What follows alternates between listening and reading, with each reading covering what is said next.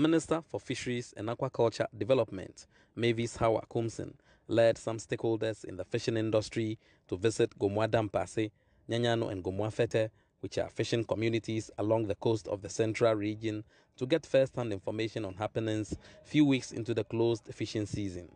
According to the ministry, it will distribute over 15,000 bags of rice, 7,500 cartons of oil, and 6,000 fishing nets across the fishing communities they will visit. The Minister for Fisheries, whilst addressing the press, noted that persons who are caught using unauthorized fishing materials during the closed season period will be arrested and prosecuted. She also debunked the assertion that the closed season is not serving the purpose for which it was established. You saw the, the net that I pointed at, very tiny, and that's what they use to collect all kind of the sizes in the in the sea, is which is which is not the authorized one.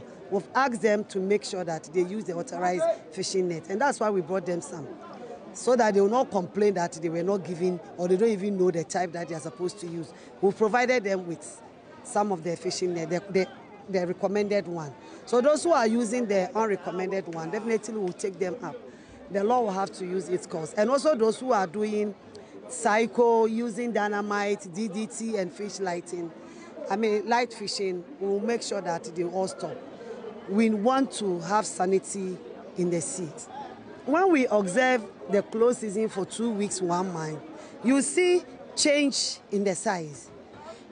But then we cannot also just get the results within this short period. Definitely it will take us some number of years, between three, four, five years, then we can see more improvements. But for now, they themselves, they called for the closed season. I did not impose it on them, even though it has become a, law.